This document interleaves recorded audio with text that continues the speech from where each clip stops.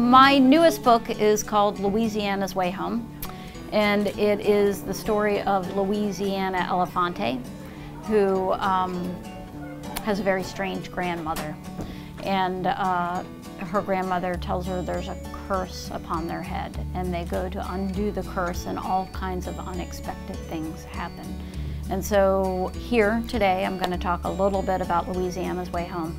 And then uh, when I came in, I, I could see people holding other books that I've written, which is a pretty exciting thing. So we'll talk about some of the other books too, I bet. You come here and you get to meet the people who complete the story because it's not finished until the readers read it. It's an amazing thing.